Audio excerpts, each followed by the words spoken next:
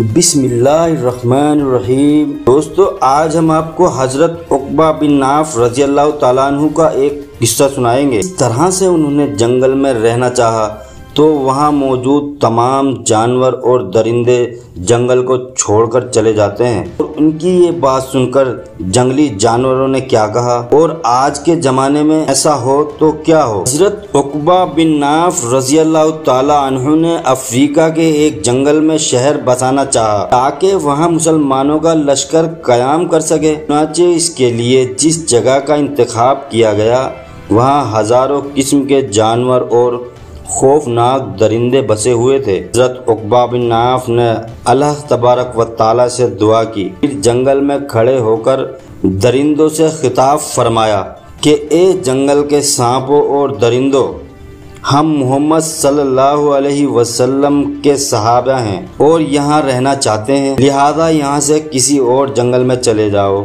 इसके बाद जो भी हमको यहाँ मिलेगा, हम उसको कत्ल कर देंगे। चुनाचे ये सुनकर जंगल के जानवर और दरिंदे अपने अपने बच्चों को लेकर जंगल से निकलने लगे और दूसरी जगह मुंतकिल हो गए। मुसलमानों की इस ईमानी कुत के हैरत अंगेज करिश्मे ने लोगों को मुताहिर कर दिया और वहाँ मौजूद बर्बर कौम के बहुत से कबाइल ने इस दिन ईमान को कबूल कर लिया। दोस्तों, आज के ज़माने में ऐसा नहीं हो सकता, क्योंकि किसी का ईमान इतना पुख्ता नहीं कि वो इस बात की पैरवी करे।